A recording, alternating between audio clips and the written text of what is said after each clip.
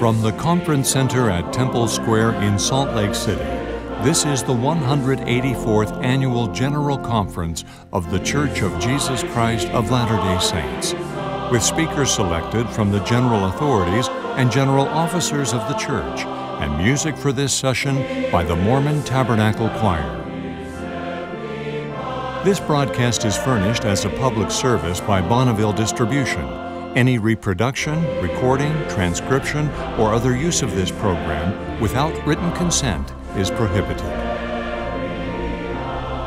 President Henry B. Eyring, First Counselor in the First Presidency of the Church, will conduct this session.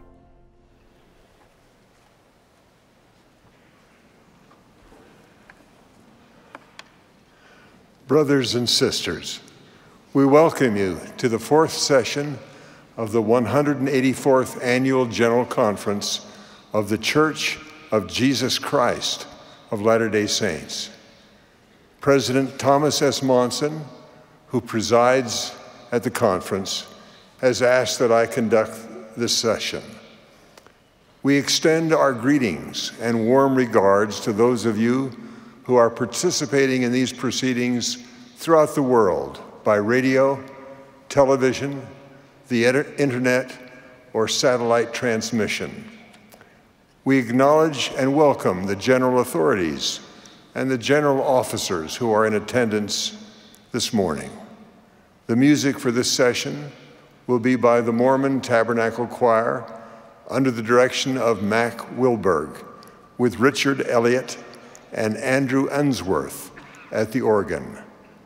The choir opened this session by singing, Come We That Love the Lord, and will now favor us with, On This Day of Joy and Gladness. The invocation will then be offered by Elder L. Whitney Clayton of the Presidency of the 70.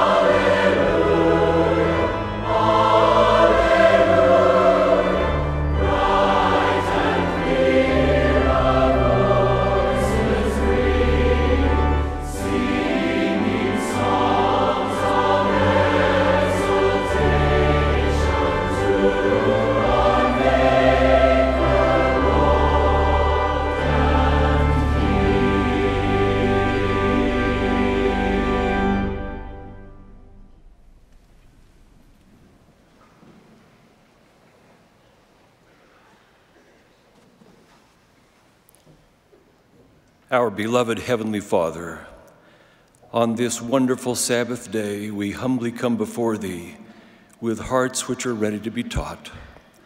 We pray that Thy Spirit might attend us.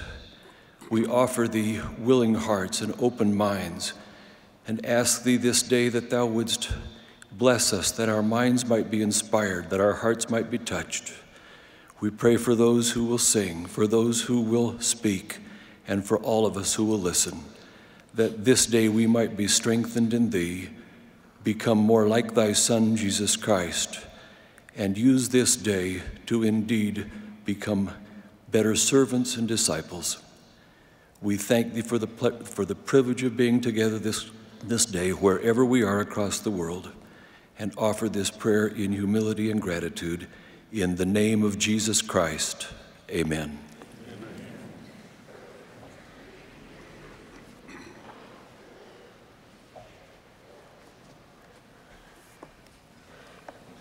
The choir will now sing, Let Us All Press On. After the music, we will be pleased to hear from President Dieter F. Uchtdorf, second counselor in the First Presidency. He will be followed by Elder M. Russell Ballard of the Quorum of the Twelve Apostles and Sister Jean Stevens, first counselor in the primary general presidency.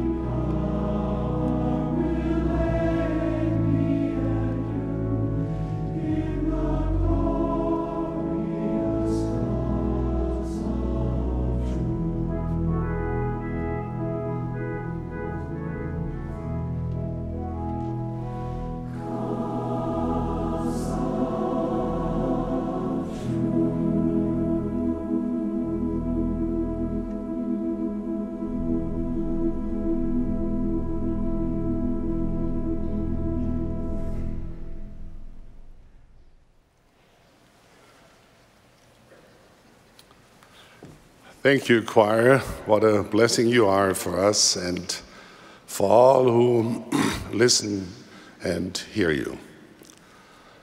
Over the years, I have had the sacred opportunity to meet with many people whose sorrows seem to reach the very depths of their soul.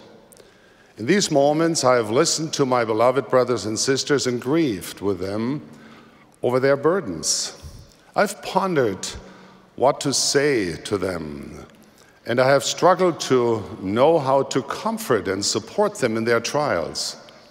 Often their grief is caused by what seems to them as an ending. Some are facing the end of a cherished relationship, such as the death of a loved one or estrangement from a family member. Others feel they are facing the end of hope, the hope of being married or bearing children or overcoming an illness. Others may be facing the end of their faith as confusing and conflicting voices in the world tempt them to question, even abandon what they once knew to be true.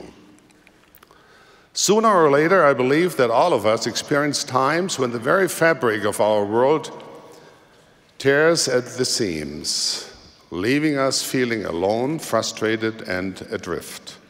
It can happen to anyone. No one is immune. Everyone's situation is different, and the details of each life are unique. Nevertheless, I have learned that there is something that would take away the bitterness that may come into our lives. There's one thing we can do to make life sweeter, even joyful, and even glorious. We can be grateful. It might sound contrary to the wisdom of the world to suggest that one who is burdened with sorrow should give thanks to God. But those who set aside the bottle of bitterness and lift instead the goblet of gratitude can find a purifying drink of healing, peace, and understanding. As disciples of Christ, we're commanded to thank the Lord our God in all things, to sing unto the Lord with thanksgiving, and to let our heart be full of thanks unto God. Why does God command us to be grateful? All of His commandments are given to make blessings available to us. Commandments are opportunities to exercise our agency and to receive blessings. Our loving Heavenly Father knows that choosing to develop a spirit of gratitude will bring us true joy and great happiness. But some might say, what do I have to be grateful for when my world is falling apart? Perhaps focusing on what we're grateful for is the wrong approach. It is difficult to develop a spirit of gratitude if our thankfulness is only proportional to the number of blessings we can count. True, it is important to frequently count our blessings. And anyone who has tried this knows there are many.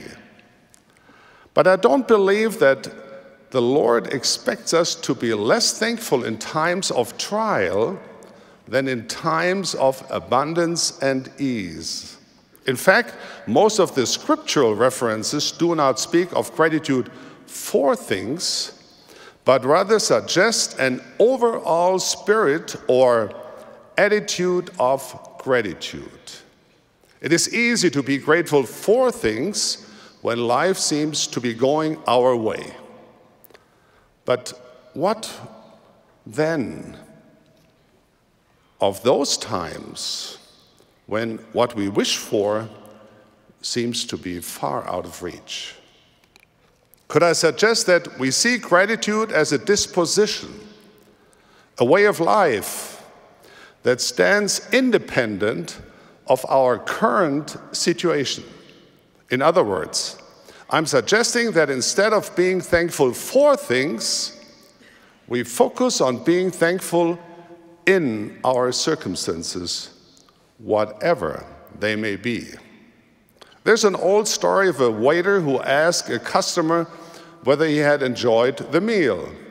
The guest replied that everything was fine, but it would have been better if they had served more bread. The next day, when the man returned, the waiter doubled the amount of bread, giving him four slices instead of two. But still, the man was not happy. The next day, the waiter doubled the bread again without success. On the fourth day, the waiter was really determined to make the man happy. And so he took a nine foot long loaf of bread, cut it in half, and with a smile served that to the customer. The waiter could scarcely wait for the man's reaction. After the meal, the man looked up and said, Good, as always. But I see you're back to giving only two slices of bread. My dear brothers and sisters, the choice is ours. We can choose to limit our gratitude based on the blessings we feel we lack. Or we can choose to be like Nephi, whose grateful heart never faltered when his brothers tied him up on the ship which he had built to take them to the promised land. His ankles and wrists were so sore they had swollen exceedingly, and a violent storm threatened to swallow him up in the depth of the sea. Nevertheless, Nephi said, I did look unto my God, and I did praise him all the day long, and I did not murmur against the Lord because of mine afflictions. We can choose to be like Job who seemed to have everything, but then lost it all. Yet Job responded by saying, Naked I came out of the mother's womb, and naked shall I return. The Lord gave, and the Lord hath taken away. Blessed be the name of the Lord. We can choose to be like the Mormon pioneers who maintained a spirit of gratitude during their slow and painful trek toward the Great Salt Lake even singing and dancing and glorifying in the goodness of God. Many of us would have been inclined to withdraw, to complain, and to agonize about the difficulty of the journey. We can choose to be like the prophet Joseph Smith, who, while a prisoner in miserable conditions in Liberty Jail, penned these inspired words Dearly beloved brethren, let us cheerfully do all things that lie in our power, and then may we stand still with the utmost assurance to see the salvation of God and for his arm to be revealed. We can choose to be grateful no matter what. This type of gratitude transcends whatever happening around us. It surpasses disappointment discouragement, and despair. It blooms just as beautifully in the icy landscape of winter as it does in the pleasant warmth of summer. When we're grateful to God in our circumstances, we can experience gentle peace in the midst of tribulation. In grief, we can still lift up our hearts in praise. In pain, we can glory in Christ's atonement. In the cold of bitter sorrow, we can experience the closeness and warmth of heaven's embrace. We sometimes think that being grateful is what we do after our problems are solved. But how terribly short sighted that is. How much of life do we miss by waiting to see the rainbow before thanking God that there is rain? Being grateful in times of distress does not mean that we are pleased with our circumstances. It does mean that through the eyes of faith, we look beyond our present day challenges. This is not a gratitude of the lips, but of the soul. It is a gratitude that heals the heart and expands the mind. Being grateful in our circumstances is an act of faith in God. It requires that we trust God and hope for things we may not see, but which are true. By being grateful, we follow the example of our beloved Savior who said, Not my will, but thine be done. True, gratitude is an expression of hope and testimony. It comes from acknowledging that we do not always understand the trials of life, but trusting that one day we will. In any circumstance, our sense of gratitude is nourished by the many and sacred truth we do know that our Father has given His children the great plan of happiness, that through the atonement of His Son, Jesus Christ, we can live forever with our loved ones, that in the end, we will have glorious, perfect, and immortal bodies unburdened by sickness or disability. And that our tears of sadness and loss will be replaced with an abundance of happiness and joy, good measure, pressed down and shaken together and running over. It must have been this kind of testimony that transformed the Savior's apostles from fearful, doubting men into fearless, joyful emissaries of the Master. In the hours following his crucifixion, they were consumed with despair and grief, unable to understand what has just happened. But one event changed all of that. Their Lord appeared to them and declared, Behold my hands and my feet, that it is I myself. When the apostles recognized the risen Christ, when they experienced the glorious resurrection of their beloved Savior, they became different men.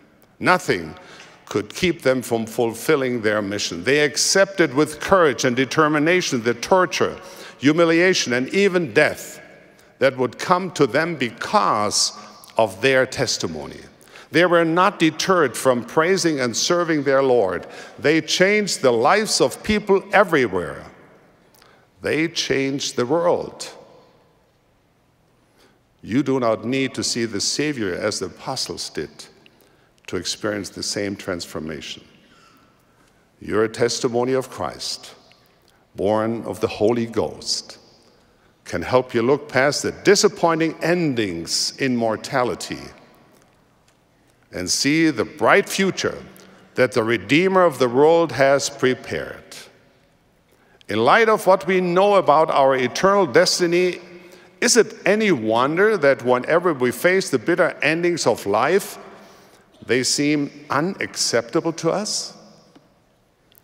There seems to be something inside of us that resists endings. Why is this? Because we are made of the stuff of eternity. We are eternal beings, children of the Almighty God whose name is endless and who promises eternal blessings without number. Endings are not our destiny. The more we learn about the gospel of Jesus Christ, the more we realize that endings here in mortality are not endings at all. They are merely interruptions, temporary pauses that one day will seem small compared to the eternal joy awaiting the faithful. How grateful I am to my Heavenly Father that in His plan there are no true endings, only everlasting beginnings. Brothers and sisters, have we not reason to be filled with gratitude, regardless of the circumstances in which we find ourselves? Do we need any greater reason to let our hearts be full of thanks unto God? Have we not great reason to rejoice? How blessed we are if we recognize God's handiwork in the marvelous tapestry of life. Gratitude to our Father in heaven broadens our perception and clears our vision. It inspires humility and fosters empathy toward our fellow man and all of God's creation. Gratitude is a catalyst to all Christ like attributes. A thankful heart is the parent of all virtues. The Lord has given us his promise that those who receive all things with thankfulness shall be made glorious, and the things of this earth shall be added unto them. May we live in thanksgiving daily, especially during the seemingly unexplainable endings that are part of mortality. May we allow our souls to expand in thankfulness toward our merciful Heavenly Father. May we ever and constantly raise our voices and show by word and deed our gratitude to our Father in heaven and His beloved Son, even Jesus Christ. For this I pray and leave you my testimony and blessing in the sacred name of our Master, even Jesus Christ. Amen.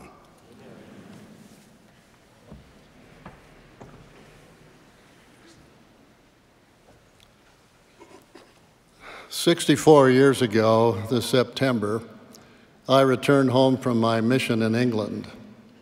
Three days after returning, I attended a Hello Day dance at the University of Utah with a friend of mine. He told me about a beautiful sophomore named Barbara Bowen, who he thought I ought to meet. He brought her over and introduced us, and we started to dance. Unfortunately, this was what we used to call a tag dance, which meant that you only got to dance with the girl until somebody else tagged you out.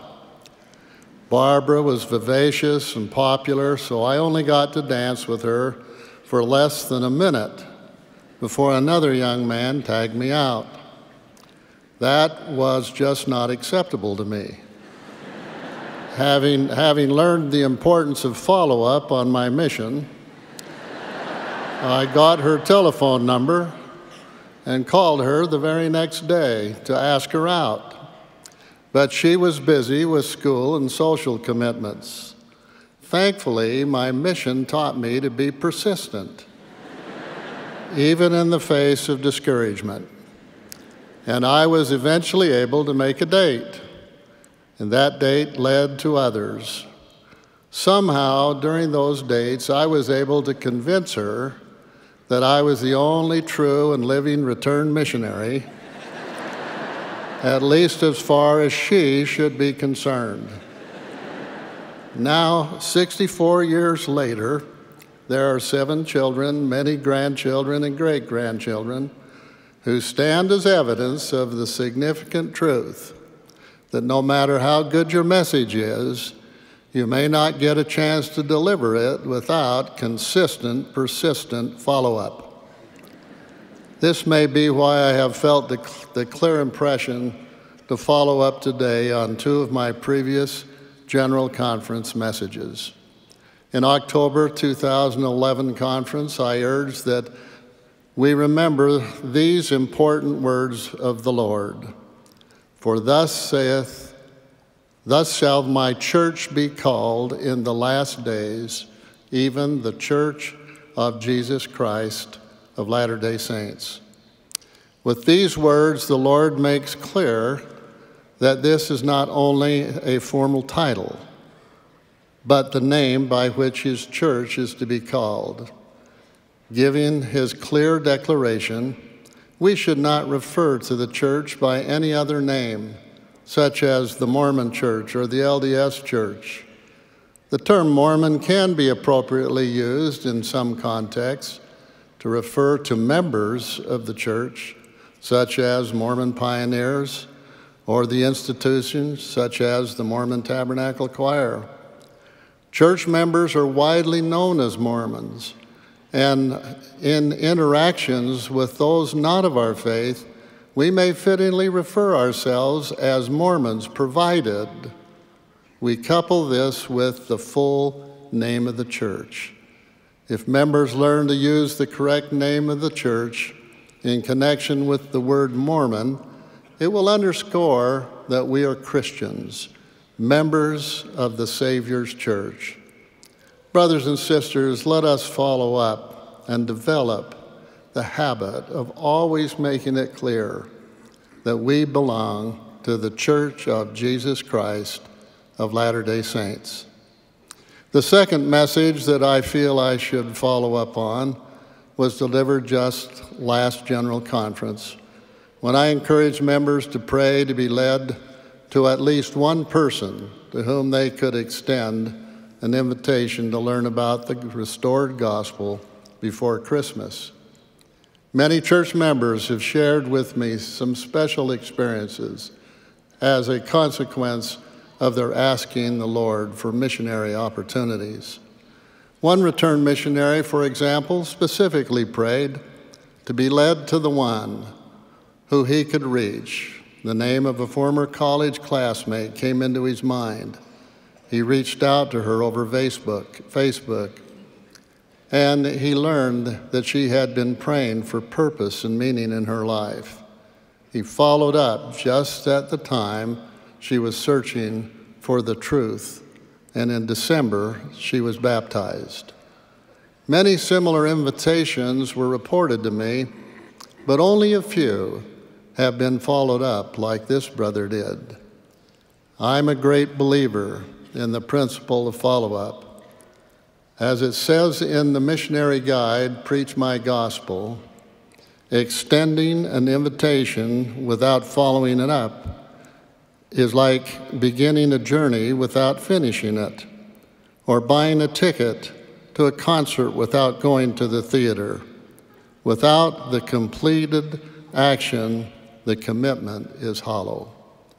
Preach My Gospel teaches everyone how to not only invite, but also how to follow up on invitations.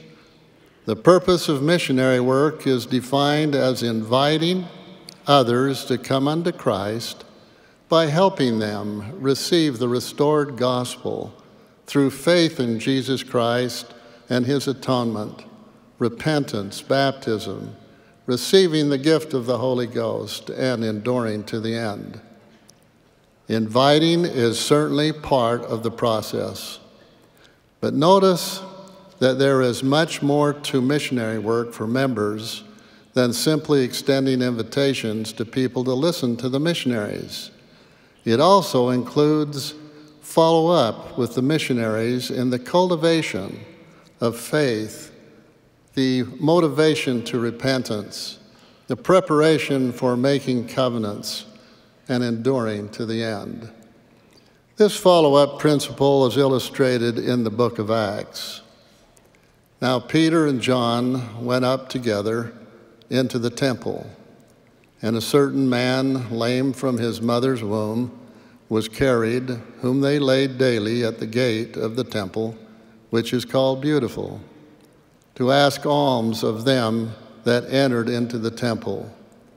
Who, seeing Peter and John about to enter the temple, asked an alms. And Peter, fastening his eyes upon him with John, said, Look on us. And he gave heed unto them, expecting to receive something from them. Then Peter said, Silver and gold have I none, but such as I have give I thee in the name of Jesus Christ of Nazareth. Rise up and walk. That's a powerful invitation from a servant of the Lord, isn't it? But Peter didn't stop with the invitation.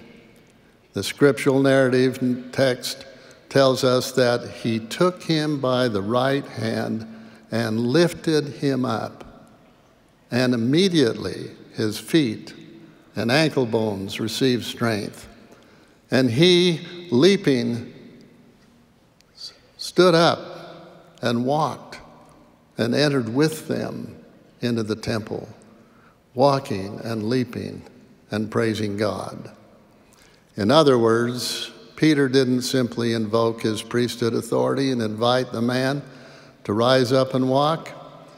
He also followed up on his invitation by reaching out to the man, taking him by the right hand and lifting him up, and then walking with him into the temple. In the spirit of Peter's example, may I suggest that we can all be more consistently involved in missionary work by replacing our fear with real faith, inviting someone at least once a quarter or four times every year to be taught by the full time missionaries. They are prepared to teach by the Spirit with sincere and heartfelt inspiration from the Lord. Together, we can follow up our invitations, take others by the hand, lift them up, and walk with them on their spiritual journey.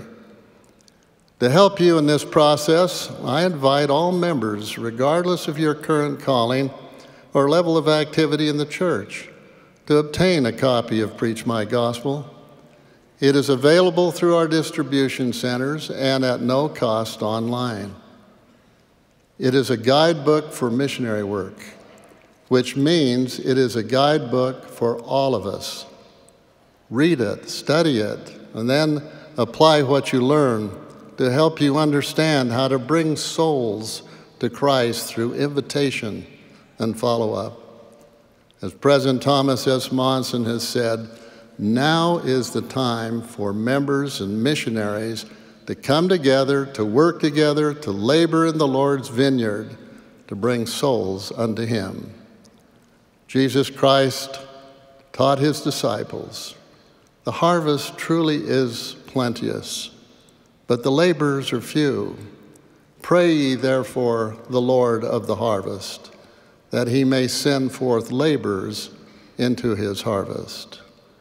The Lord, Lord has answered that prayer in our day with the greatest number of full time missionaries in the history of the world. In this new wave of faithful laborers, the Lord has given us another opportunity to assist Him in that great harvest of souls.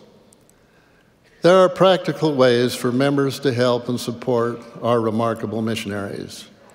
For example, you can tell the missionaries that you're, you are studying Preach My Gospel and ask them to show you what they're learning in their studies. As you share with each other, increased confidence between members and full time missionaries will surely develop, just as the Lord commanded. But that every man, and I include women, might speak in the name of God the Lord, even the Savior of the world.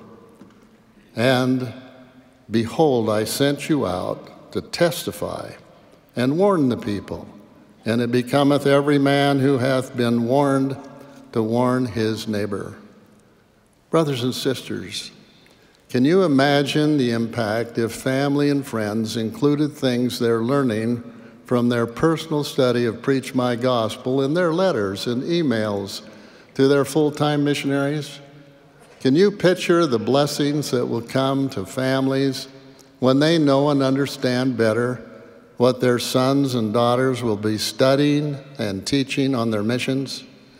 Can you even begin to fathom the extraordinary outpouring of atoning grace that will be ours, individually and collectively, according to the Savior's promise to all who bear testimony in the process of inviting souls to come unto Him, and then follow up on those invitations? Ye are blessed, the Lord said through the prophet Joseph, for the testimony which ye have borne is recorded in heaven for the angels to look upon. and they rejoice over you, and your sins are forgiven you. For I will forgive you of your sins with this commandment that you remain steadfast in bearing testimony to all the world of those things which are communicated unto you. If we follow up, the Lord will not let us down. I have seen the unspeakable joy that accompanies testimony driven, inviting, and faithful follow up among members of the church the world over. While in Argentina recently, I encouraged members to invite someone to church before this general conference.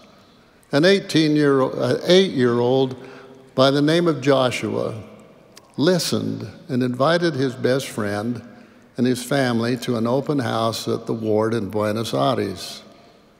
Let me read to you from a letter I just received that explained Joshua's invitation and his faithful follow up. Quote Every minute, Joshua would run out to the gate to see if they were coming.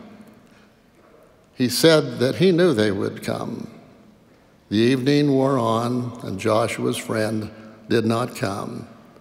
But Joshua did not give up. He faithfully checked the front gate every few minutes. It was time to start putting things away.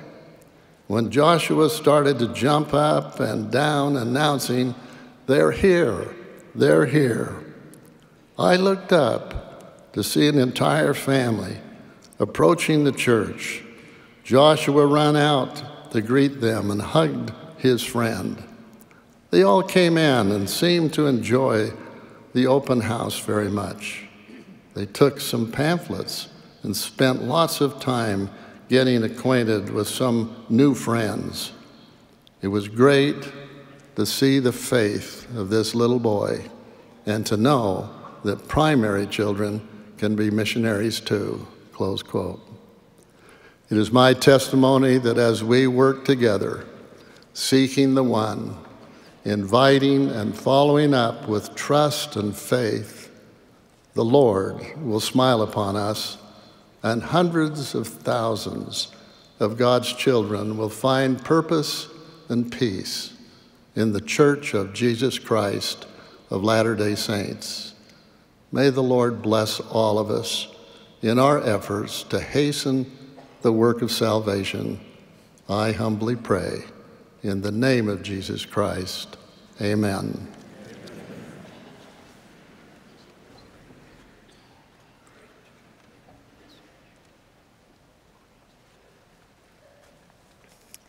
Few feelings compare with the tender emotions of becoming a parent.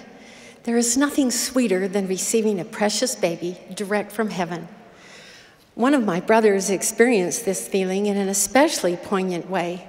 His first little son was born prematurely and weighed only two pounds, 14 ounces. Hunter spent his first two months of life in the neonatal intensive care unit of the hospital. Those months were a tender time for all the family as we hoped and petitioned the Lord for his help. Little Hunter was so dependent, he struggled to gain the strength necessary to live. The strong hand of his loving father often reached for his son's tiny hand to encourage his vulnerable little child. And so it is for all of God's children. Our Father in heaven reaches out for each of us with his infinite love. He has power over all things and desires to help us learn, grow, and return to him. This defines our Father's purpose to bring to pass the immortality and eternal life of man. As we develop greater faith and trust in the Lord, we can access His power to bless and deliver us. The Book of Mormon weaves this beautiful theme of the Lord's power to deliver His children throughout its pages. Nephi introduced it in the very first chapter of the book. In verse 20, we read, Behold, I, Nephi, will show unto you that the tender mercies of the Lord are over all those whom he hath chosen because of their faith to make them mighty even unto the power of deliverance. Many years ago, I came to know in a very personal way just how near our Father in heaven really is and just how much He desires to help us. One evening, as night was falling, I was driving with my children when I noticed a young boy walking along a road. After passing him, I had a distinct impression I should go back and help him. But worried it could frighten him to have a stranger pull up beside him at night, I continued driving. The strong impression came again with these words in my mind Go help that boy. I drove back to him and asked, Do you need some help? I had a feeling I should help you. He turned towards us and, with tears streaming down his cheeks, said, Would you? I've been praying someone would help me. His prayer for help was answered with the inspiration that came to me. This experience of receiving such clear direction from the Spirit left an unforgettable imprint that is still in my heart.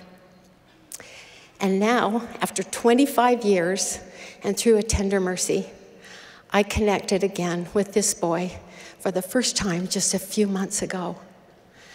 I discovered that the experience isn't just my story, it is his story too. Derek Nance is now a father with a family of his own. He too has never forgotten this experience. It helped us lay a foundation of faith that God hears and answers our prayers. Both of us have used it to teach our children that God is watching over us. We are not alone. On that night, Derek had stayed after school for an activity and had missed the last bus.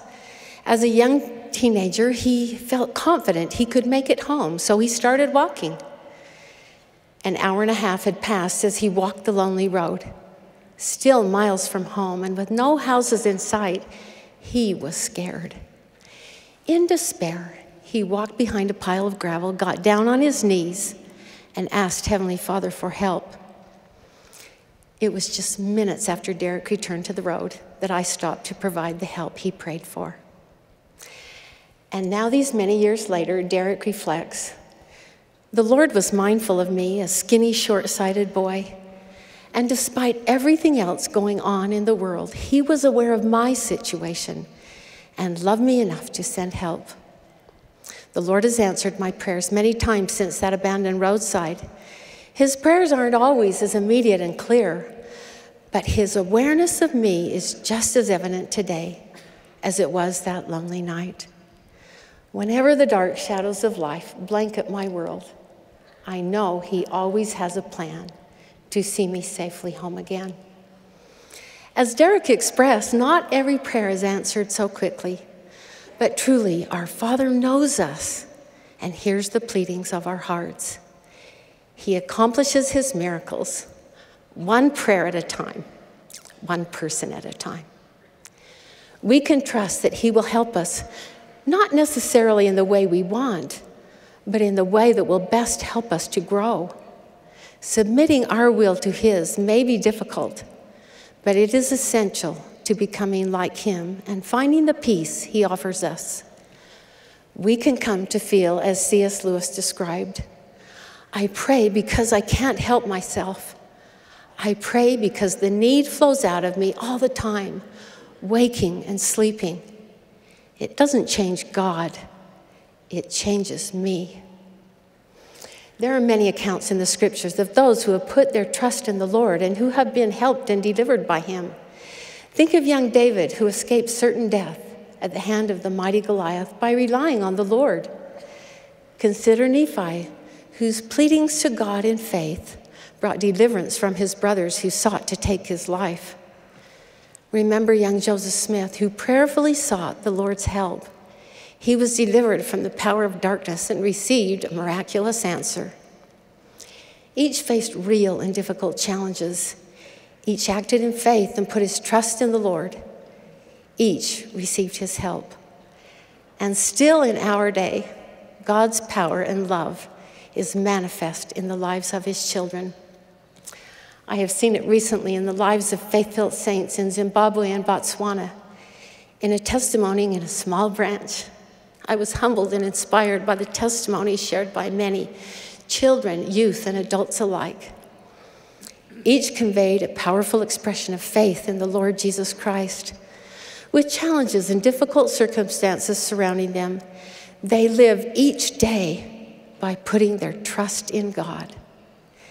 They acknowledge His hand in their lives and often express it with the phrase, I am so much grateful to God. A few years ago, a faithful family exemplified for members of our ward that same trust in the Lord.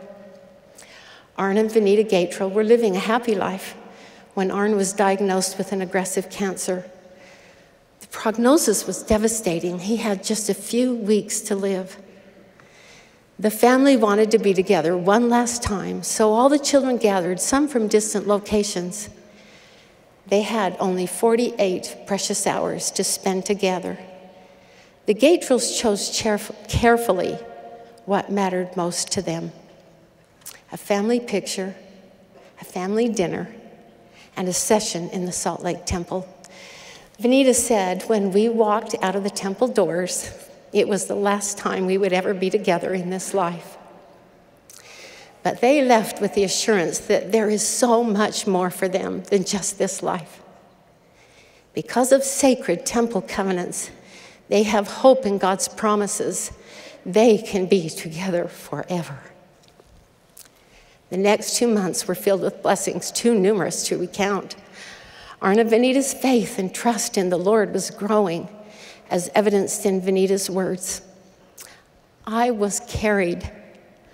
I learned that you can feel peace in the midst of turmoil. I knew the Lord was watching over us. If you trust in the Lord truly, you can overcome any of life's challenges. One of their daughters added, We watched our parents and saw their example. We saw their faith and how they handled it. I would never have asked for this trial, but I would never give it away. We were surrounded with God's love. Of course, Arn's passing was not the outcome the Gatrells had hoped for, but their crisis was not a crisis of faith. The gospel of Jesus Christ is not a checklist of things to do, rather, it lives in our hearts. The gospel is not weight, it is wings. It carries us. It carried the Gatrells. They felt peace in the midst of the storm. They held fast to each other and to temple covenants they had made and kept. They grew in their ability to trust in the Lord and were strengthened by their faith in Jesus Christ and in his atoning power. Wherever we find ourselves on the path of discipleship, whatever our worries and challenges may be, we are not alone. You are not forgotten. Like Derek, the saints of Africa, and the Gatrell family, we can choose to reach for God's hand in our need. We can face our challenges with prayer and trust in the Lord. And in the process, we become more like Him. Speaking to each of us, the Lord says, Fear not, I am with thee. Be not dismayed, for I am thy God. I will strengthen thee. I will help thee. Yea, I will uphold thee with the right hand of my righteousness. I share my humble but certain witness that God our Father knows us personally and reaches out to help us. Through his beloved Son, Jesus Christ, we may overcome the challenges of this world and be safely delivered home. May we have faith to trust in him, I pray. In the name of Jesus Christ, amen.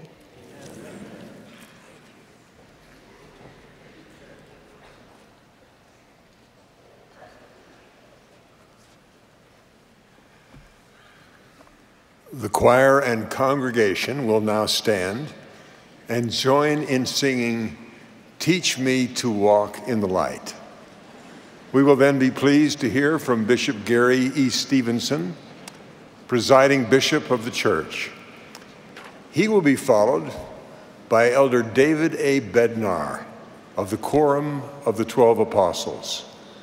At the conclusion of Elder Bednar's remarks, the choir will sing A Child's Prayer.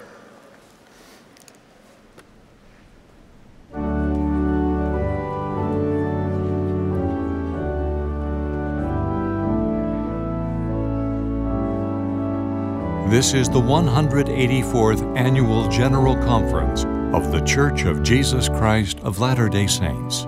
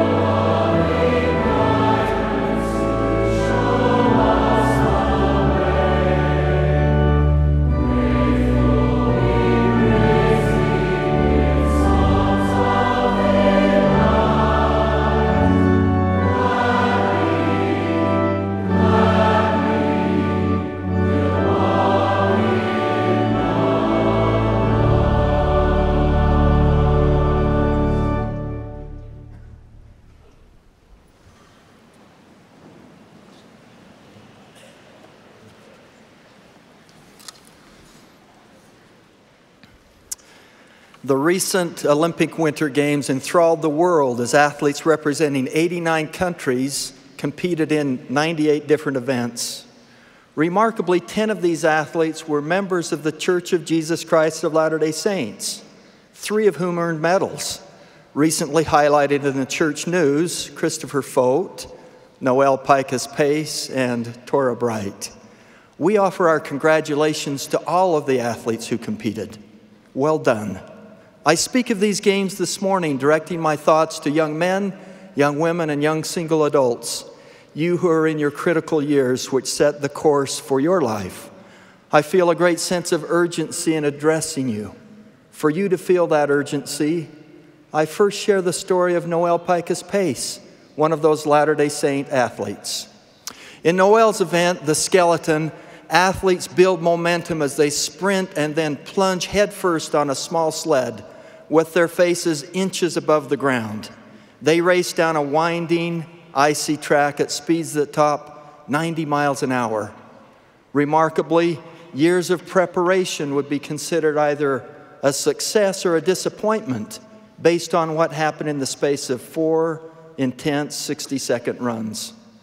Noelle's previous 2006 Olympic dreams were dashed when a terrible accident left her with a broken leg. In the 2010 Olympics, her dreams fell short again when just one tenth of a second kept her from a medal stand. Can you imagine the anxiety she felt as she waited to begin her first run in the 2014 Olympics? Years of preparation would culminate in only a sliver of time. Four minutes total. She spent years preparing for those four minutes and would spend a lifetime afterward reflecting on them. Noelle's final runs were virtually flawless. We will never forget her leap into the stands to embrace her family after crossing the finish line, exclaiming, We did it. Years of preparation had paid off. We saw her young women medallion around her neck as the silver medal was placed there beside it. It may seem unfair that Noelle's entire Olympic dreams hinged on what she did during just four brief minutes. But she knew it, and that is why she prepared so diligently. She sensed the magnitude, the urgency of her four minutes, and what they would mean for the rest of her life. We also remember Christopher, Christopher Fogt, a member of the team that won the bronze medal in the four man bobsled race. While he could have given up after a devastating crash in the 2010 Olympics, he chose to persevere. After a fantastic redemptive run, he won the prize he so diligently sought. Now, consider how your pathway to eternal life is similar to these athletes' four minute performance. You are an eternal being. Before you were born, you existed as a spirit in the presence of a loving Heavenly Father. You trained and prepared to come to the earth for a brief moment and, well, perform. This life is your four minutes. While you are here, your actions will determine whether you win the prize of eternal life. The prophet Amulek described this life is the time to prepare to meet God. Yea, behold, the day of this life is the day to perform your labors. In a sense, your four minutes have already begun. The clock is ticking. The words of the Apostle Paul seem so fitting to run the race that you may obtain the prize. In the same way that certain steps are essential in the very brief performance of an Olympic athlete, jumps or maneuvers for ice skaters and snowboarders, negotiating the turns of a bobsled run, or carving through the gates of a downhill slalom course, so it is in our lives where certain things are absolutely essential. Checkpoints, which move us through our spiritual performance on earth these spiritual markers are the essential God given ordinances of the gospel baptism, receiving the gift of the Holy Ghost, priesthood ordinations, temple ordinances, and partaking of the sacrament each week. In these ordinances, the power of godliness is manifest. And in the same way that the discipline of training prepares an athlete to perform elements in their sport at the highest level, Keeping the commandments will qualify you to perform these saving ordinances. Do you sense the urgency? My young friends, wherever you are in your four minute performance, I urge you to ponder what do I need to do next to ensure my medal? Perhaps during this conference, the Spirit has whispered to you what that may be to prepare more thoughtfully for an ordinance in your future, or to receive an ordinance that you should have received a long time ago. Whatever it may be, do it now. Don't wait. Your four minutes will pass quickly, and you'll have eternity to think about what you did in this life. Self discipline is needed. Daily prayer, scripture study, and church attendance must be the foundation of your training a consistent pattern of obeying the commandments, keeping the covenants you have made, and following the standard, the Lord's standard found in For the Strength of Youth is required. Perhaps you're aware of things in your life that are threatening to slow or stop your spiritual progress. If so, follow Paul's counsel. Let us lay aside every weight and the sin which doth so easily beset us, and let us run with patience the race that is set before us. It is not yet too late to repent, but it soon may be because no one really knows when your four minutes will be over. Now, you may be thinking to yourself, I already blew it. My four minutes are already a disaster. I may as well give up. If so, stop thinking that and never think it again. The miracle of the atonement can make up for imperfections in our performance. As Elder Holland has taught, quote, to those of you who may still be hanging back, I testify of the renewing power of God's love and the miracle of His grace. It is never too late, so long as the Master says there is time. Don't delay. Close quote. Remember, you're not alone. The Savior has promised that He will not leave you comfortless. You also have a family, friends, and leaders who are cheering you on. Although my remarks have been directed to the youth of the church, for parents and grandparents, I offer the following. Recently, Elder Bednar described a simple way to conduct a family assessment to mark progress on the covenant path for essential ordinances. All that is needed is a piece of paper with two columns name and plan for next or needful ordinance. I did this recently, listing each family member. Among them, I noted an infant grandson soon to be blessed, a six year old grandson whose preparation for baptism was essential, and a son turning 18 whose preparation for priesthood and temple endowment was imminent. Everyone on the list needed the sacrament ordinance.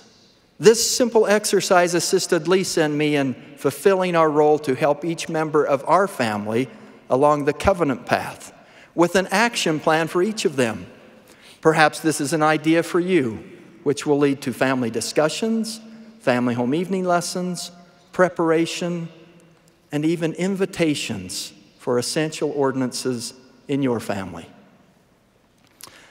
As a skier and snowboarder myself, I was deeply impressed with the four minute silver medal winning performance of Australian LDS athlete, snowboarder Tara Bright, Torah Bright in the halfpipe competition. She dazzled the world as she finished a virtually flawless run, culminating in a backside rodeo 720.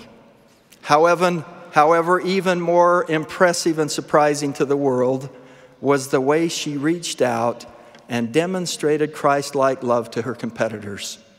She noticed an American snowboarder, Kelly Clark, who had had a bad first run in her final round and appeared to be nervous about her second run. She gave me a hug, Clark recalls. She just held me until I actually calmed down enough and I slowed my breathing. It was good to have a hug from a friend. Kelly Clark would later join Torah on the winner's podium as a bronze medalist. When asked about this unusual act of kindness toward her, toward her opponent, which could have put her own silver medal at risk, Torah simply said, I am a competitor, I want to do my best, but I want my fellow competitors to do their best too. With that in mind, is there someone who needs your encouragement, a family member, a friend, a classmate, or fellow quorum member? How can you help them with their four minutes? Dear friends, you are in the midst of an exhilarating journey. In some ways, you are racing down the half pipe or sled track, and it can be challenging to perform each element or navigate each turn along the way. But remember, you've prepared for this for millennia. This is your moment to perform. This is your four minutes. The time is now. I express my utmost confidence in your abilities. You have the Savior of the world on your side. If you seek His help and follow His directions, how can you fail? I conclude with my testimony of the blessing we have in a living prophet, President Thomas S. Monson, and of Jesus Christ and of His role as our Savior and Redeemer. In His holy name, Jesus Christ. Amen.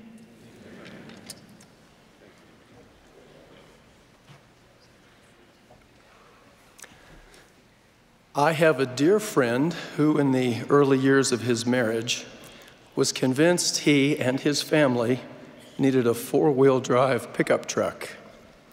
His wife was sure that he did not need, but merely wanted the new vehicle. A playful conversation between this husband and wife initiated their consideration of the advantages and disadvantages of such a purchase. Sweetheart, we need a four wheel drive truck. She asked, Why do you think we need a new truck? He answered her question with what he believed was the perfect response What if we needed milk for our children in a terrible storm?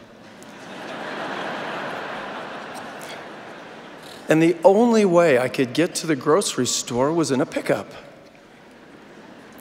His wife replied with a smile If we buy a new truck, we won't have money for milk. so why worry about getting to the store in an emergency? Over time, they continued to counsel together and ultimately decided to acquire the truck. Shortly after taking possession of the new vehicle, my friend wanted to demonstrate the utility of the truck and validate his reasoning for wanting to purchase it. So he decided he would cut and haul a supply of firewood for their home. It was in the autumn of the year, and snow already had fallen in the mountains where he intended to find wood. As he drove up the mountainside, the snow gradually became deeper and deeper. My friend recognized the slick road conditions presented a risk, but with great confidence in the new truck, he kept going. Sadly, my friend went too far along the snowy road. As he steered the truck off of the road at the place he had determined to cut wood, he got stuck. All four of the wheels on the new truck spun in the snow. He readily recognized that he did not know what to do to extricate himself from this dangerous situation. He was embarrassed and worried. My friend decided, well, I will not just sit here. He climbed out of the vehicle and started cutting wood. He completely filled the back of the truck with the heavy load. And then my friend determined he would try driving out of the snow one more time. As he put the pickup into gear and applied power, he started to inch forward. Slowly, the truck moved out of the snow and back onto the road he finally was free to go home, a happy and a humbled man.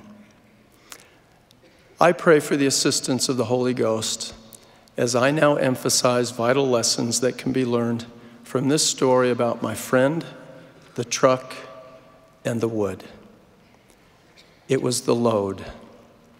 It was the load of wood that provided the traction necessary for him to get out of the snow to get back on the road and to move forward.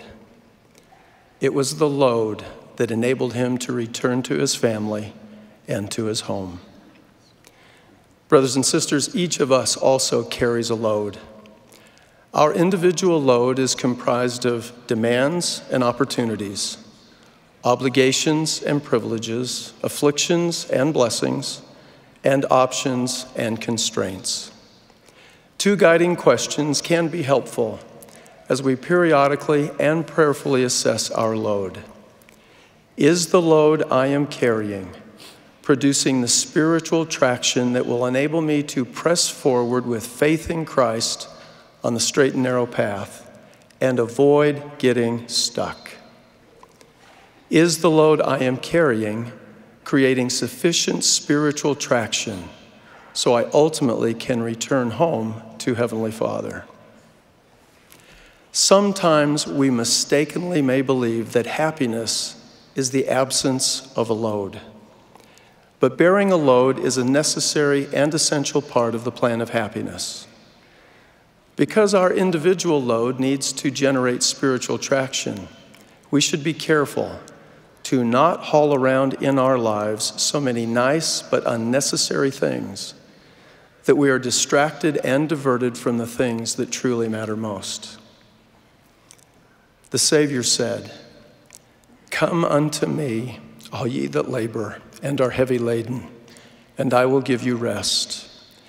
Take my yoke upon you and learn of me, for I am meek and lowly in heart, and ye shall find rest unto your souls. For my yoke is easy and my burden is light. A yoke is a wooden beam normally used between a pair of oxen or other animals that enables them to pull together on a load. A yoke places animals side by side so they can move together in order to accomplish a task. Brothers and sisters, please consider the Lord's uniquely individual invitation to take my yoke upon you. Making and keeping sacred covenants yokes us to and with the Lord Jesus Christ. In essence, the Savior is beckoning us to rely upon and pull together with Him, even though our best efforts are not equal to and cannot be compared with His. As we trust in and pull our load with Him during the journey of mortality, Truly, his yoke is easy and his burden is light. We are not and never need be alone. We can press forward in our daily lives with heavenly help. Through the Savior's atonement, we can receive capacity and strength beyond our own. As the Lord declared, Therefore, continue your journey and let your hearts rejoice. For behold, and lo, I am with you even unto the end. Consider the example in the Book of Mormon as Amulon persecuted Alma and his people. The voice of the Lord came to these disciples in their afflictions Lift up your heads and be of good comfort, for I know of the covenant which ye have made unto me. And I will covenant with my people and deliver them out of bondage. Now, please note the centrality of covenants to the promise of deliverance. Covenants received and honored with integrity, and ordinances performed by proper priesthood authority are necessary to receive all of the blessings made available through the atonement of Jesus Christ. For in the ordinances of the priesthood, the power of godliness is manifest unto men and women in the flesh, including the blessings of the atonement. Recall the Savior's statement, For my yoke is easy and my burden is light, as we consider the next verse in the account of Alma and his people. And I will also ease the burdens which are put upon your shoulders, that even you cannot feel them upon your backs. Many of us perhaps may assume this scripture is suggesting that a burden suddenly and permanently will be taken away. The next verse, however, describes how the burden was eased. And now it came to pass that the burdens which were laid upon Alma and his brethren were made light. Yea, the Lord did strengthen them, that they could bear up their burdens with ease. And they did submit cheerfully and with patience to all the will of the Lord. The challenges and difficulties were not immediately removed from the people, but Alma and his followers were strengthened, and their increased capacity made the burdens lighter. These good people were empowered through the atonement to act as agents and impact their circumstances. And in the strength of the Lord, Alma and his people were directed to safety in the land of Zarahemla. My beloved brothers and sisters, not only does the atonement of Jesus Christ overcome the effects of the fall of Adam, and make possible the remission of our individual sins and transgressions. But his atonement also enables us to do good and become better in ways that stretch far beyond our mortal capacities. Most of us know that when we do things wrong and need help to overcome the effects of sin in our lives, the Savior has made it possible for us to become clean through his redeeming power. But do we also understand that the atonement is for faithful men and women who are obedient, worthy, and conscientious, and who are striving to become better and serve more faithfully? I wonder if we fully acknowledge this strengthening aspect of the atonement in our lives and mistakenly believe we must carry our load all alone through sheer grit, willpower, and discipline and with our obviously limited capacities. It is one thing to know that Jesus Christ came to the earth to die for us, but we also need to appreciate that the Lord desires, through his atonement and by the power of the Holy Ghost, to enliven us, not only to guide, but also to strengthen and heal us. Alma explains why and how the Savior can enable us. And he shall go forth, suffering pains and afflictions and temptations of every kind. And this that the word might be fulfilled, which saith, He will take upon him the pains and the sicknesses of his people. And he will take upon him death that he may loose the bands of death which bind his people. And he will take upon him their infirmities, that his bowels may be filled with mercy, according to the flesh, that he may know according to the flesh how to succor his people according to their infirmities. Thus, brothers and sisters, the Savior has suffered not just for our sins and iniquities, but also for our physical pains and anguish, our weaknesses and shortcomings, our fears and frustrations, our disappointments and discouragement, our regrets and remorse, our despair and desperation the injustices and the inequities we experience, and the emotional distresses that beset us. There is no physical pain, no spiritual wound, no anguish of soul or heartache, no infirmity or weakness you or I ever confront in mortality that the Savior did not experience first. In a moment of weakness, we may cry out, No one knows what it is like. No one understands. But the Son of God perfectly knows and understands, for he has felt and borne our individual burdens. And because of his infinite and eternal sacrifice, he has perfect empathy and can extend to us his arm of mercy. He can reach out, touch, succor, heal, and strengthen us to be more than we could ever be, and help us do that which we could never do, relying only upon our own power. Indeed, his yoke is easy and his burden is light. I invite you to study, pray, ponder, and strive to learn more about the Savior's atonement as you assess your individual load. Many things about the atonement we simply cannot comprehend with our mortal minds, but many aspects of the atonement we can and need to understand. For my friend, the load of wood provided life saving traction. The empty truck could not move through the snow, even equipped with four wheel drive. A heavy load was necessary to produce traction. It was the load.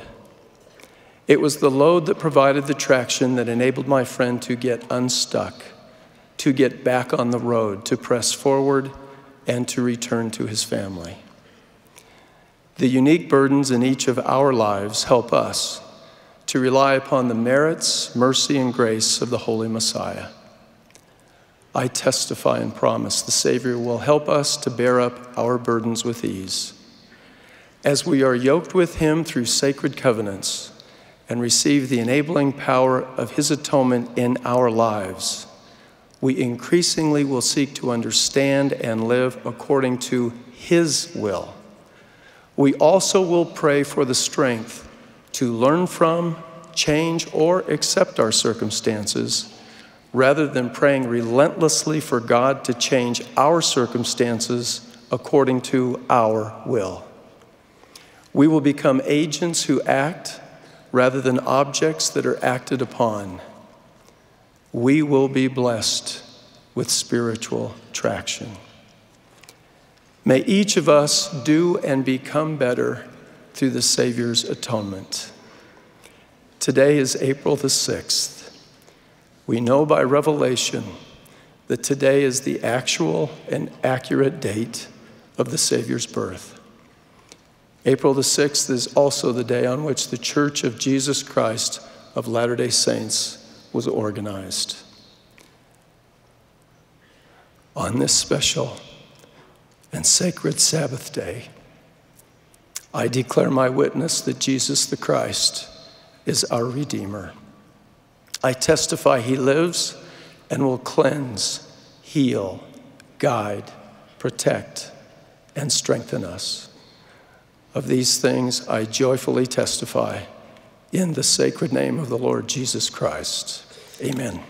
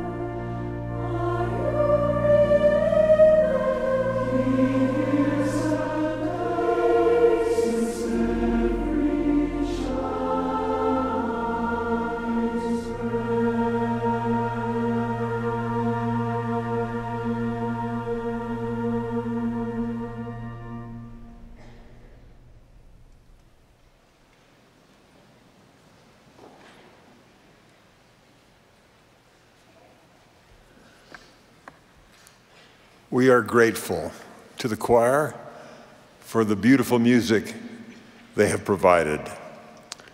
We likewise extend appreciation to those who have spoken to us this morning. Our concluding speaker for this session will be our beloved prophet, President Thomas S. Monson. Following President Monson's remarks, the choir will sing, Guide us, O thou great Jehovah.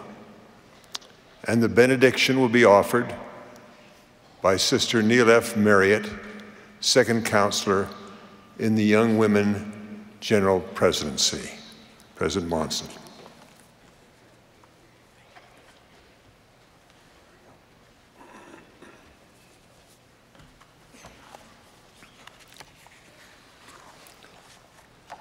My beloved brothers and sisters, when our Savior ministered among men, he was asked by the inquiring lawyer, Master, which is the great commandment in the law?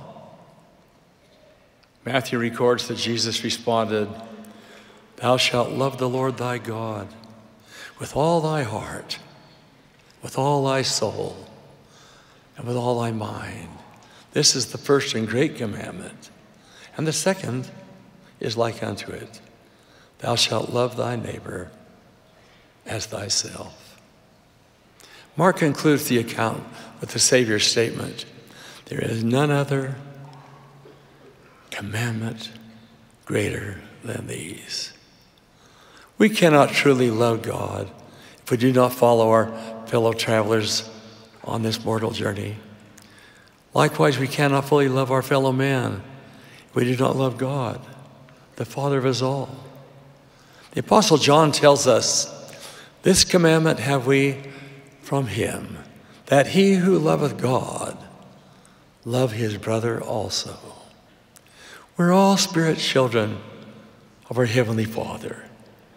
And as such, our brothers and sisters. As we keep His truth in mind, loving all of God's children will become easier. Actually, love is the very essence of the gospel. And Jesus Christ is our exemplar. His life was a legacy of love. The sick he healed, the downtrodden he lifted, the sinner he saved. At the end, the angry mob took his life. And yet, there rings from Golgotha's hill the words, Father, forgive them, for they know not what they do A crowning expression in mortality of compassion and love. There are many attributes which the manifestations of love, such as kindness, patience, selflessness, understanding, and forgiveness, in all of our associations. These and other such attributes will help make evident the love in our hearts. Usually, our love will be shown in our day to day interactions one with another. All important will be our ability to recognize someone's need and then to respond. I've always cherished the sentiment expressed in the short poem I've wept in the night for the shortness of sight, that to somebody's need made me blind, but I never have yet felt a tinge of regret for being a little too kind. I recently was made aware of a touching example of loving kindness, one that had unforeseen results. The year was 1933, when, because of the Great Depression, employment opportunities were scarce. The location was the eastern part of the United States. Arlene Biesecker had just graduated from high school after a lengthy search for employment, she was finally able to obtain work at a clothing mill as a seamstress. The mill workers were paid only for each of the correctly completed pieces they sewed together daily. The more pieces they produced, the more they were paid. One day, shortly after starting at the mill, Arlene was faced with a procedure that had her confused and frustrated. She sat at her sewing machine out there, trying to unpick her unsuccessful attempt to complete the piece on which she was working. There seemed to be no one to help her, for all of the other seamstresses were hurrying to complete as many pieces as they could. Arlene felt helpless and hopeless. Quietly, she began to cry. Across from Arlene sat Bernice Rock. She was older and more experienced as a seamstress. Observing Arlene's distress, Bernice left her own work and went to Arlene's side, kindly giving her instruction and help. She stayed until Arlene gained confidence and was able to successfully complete the piece. Bernice then went back to her own machine, having missed the opportunity to complete as many pieces as she could have had she not helped. With one act of loving kindness, Bernice and Arlene became lifelong friends. Each eventually married and had children. Sometime in the 1950s, Bernice, who was a member of the church, gave Arlene and her family a copy of the Book of Mormon. In 1960, Arlene and her husband and children were baptized members of the church. Later, they were sealed in a holy temple of God. As a result of the compassion shown by Bernice, as she went out of her way to help one whom she didn't know, but who was in distress and needed assistance, countless individuals, both living and dead, now enjoy the saving ordinances of the gospel every day of our lives. We are given opportunities to show love and kindness to those around us. Said President Spencer W. Kimball, we must remember that those mortals we meet in parking lots, offices, elevators, and elsewhere are that portion of mankind God has given us to love and to serve. It will do us little good to speak of the general brotherhood of mankind if we cannot regard those who are all around us as our brothers and sisters. Close quote.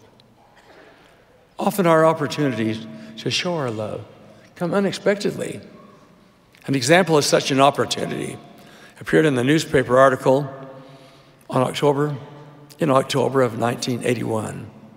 So impressed was I with the love and compassion related therein that I kept the clipping in my files for over 30 years.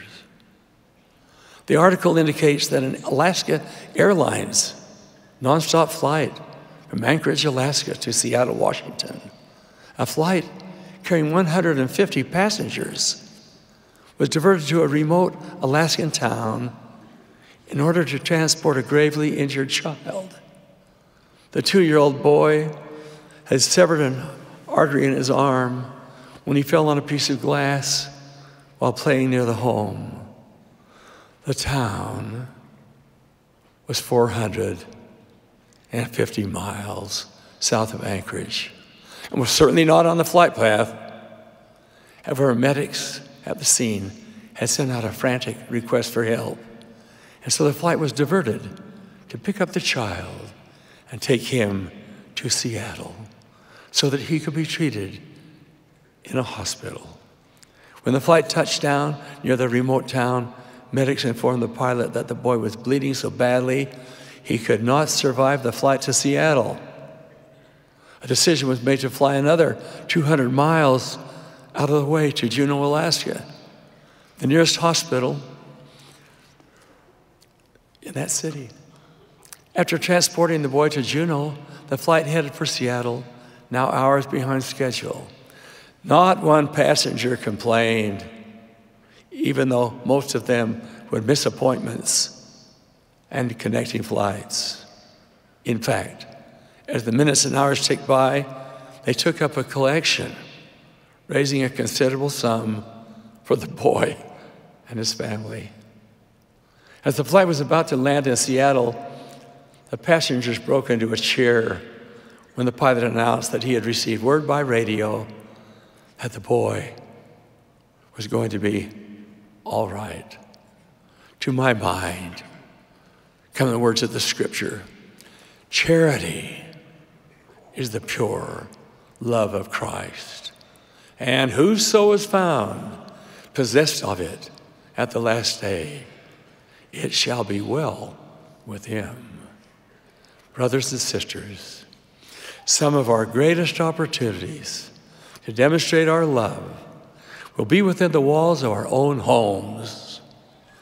Love should be the very heart of family life, and yet sometimes it is not.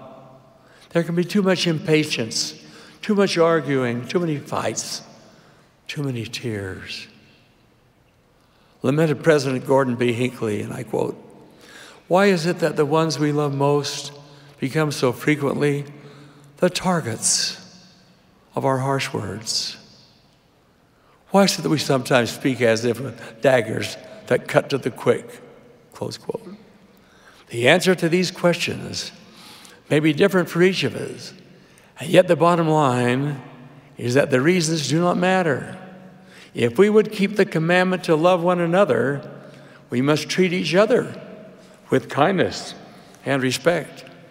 Of course, there will be times when discipline needs to be meted out.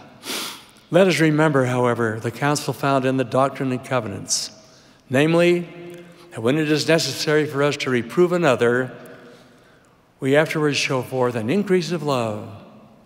I would hope that we would strive always to be considerate and to be sensitive to the thoughts and feelings and circumstances of those around us. Let us not demean or belittle. Rather, let us be compassionate and encouraging. We must be careful that we do not destroy another person's confidence through careless words of actions. Forgiveness should go hand in hand with love. In our families as well as with our friends, there can be hurt feelings and disagreements.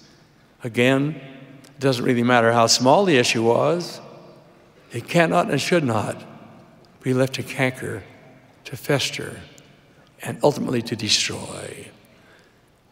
Blame keeps wounds open. Only forgiveness heals. A lovely lady who has since passed away visited with me one day and unexpectedly recounted some regrets. She spoke of an incident which had taken place many years earlier and involved a neighboring farmer, once a good friend, but with whom she and her husband had disagreed on multiple occasions. One day, the farmer asked if he could take a shortcut across her property to reach his own acreage. At this point, she paused in her narrative to me and, with a tremor in her voice, said, Brother Monson, I didn't let him cross our property then or ever, but required him to take the long way around on foot to reach his property. I was wrong, and I regret it. He's gone now. But oh, I wish I could say to him, I'm so sorry. How I wish I had a second chance to be kind. Close quote. As I listened to her, there came to my mind the doleful observation of John Greenleaf Whittier. And I quote, Of all sad words of tongue or pen, the saddest are these. It might have been. Close quote. Brothers and sisters, as we treat others with love and kind consideration, we will avoid such regrets Love is expressed in many recognizable ways a smile, a wave, a kind comment, a compliment. Other expressions may be more subtle, such as showing interest in another's activities, teaching a principle with kindness and patience, visiting one who is ill or homebound. These words and actions and many others can communicate love. Dale Carnegie, a well known American author and lecturer, believed that each person has within himself or herself the power to increase the sum total of the world's happiness by giving a few words of sincere appreciation to someone who is lonely or discouraged. Said he, Perhaps you will forget tomorrow the kind words you say today, but the recipient may cherish them over a lifetime. Close quote. May we begin now, this very day, to express love to all of God's children, whether they be our family members, our friends, mere acquaintances, or total strangers. As we arise each morning, let us determine to respond with love and kindness to whatever might come our way. Beyond comprehension, my brothers and sisters, is the love of God for us. Because of this love, He sent His Son, who loved us enough to give His life for us, that we might have eternal life. As we come to understand this incomparable gift, our hearts will be filled with love for our eternal Father, for our Savior, and for all mankind. That such may be so is my earnest prayer. Heavenly Father, I am glad that you're always here and there. In the sacred name of Jesus Christ, amen.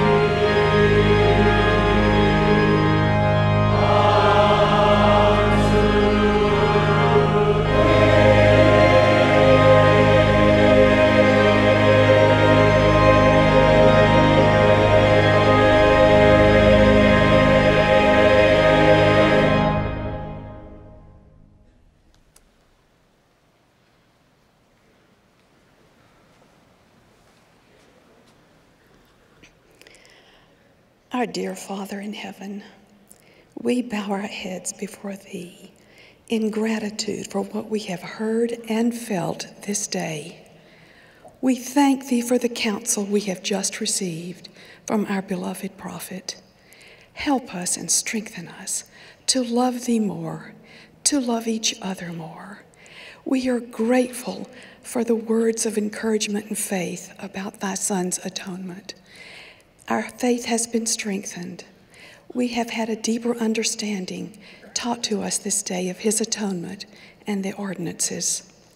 We pray that we may go forth from this meeting, Father, with vigor and love and joy to build thy kingdom and to strengthen one another and be faithful to thee and thy Son.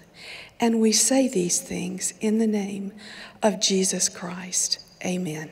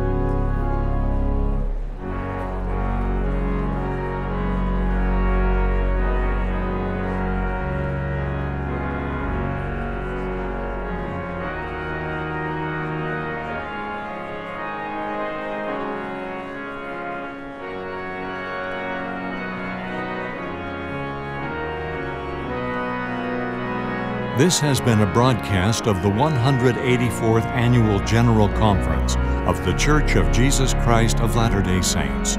Speakers were selected from the general authorities and general officers of the church. Music was provided by the Mormon Tabernacle Choir.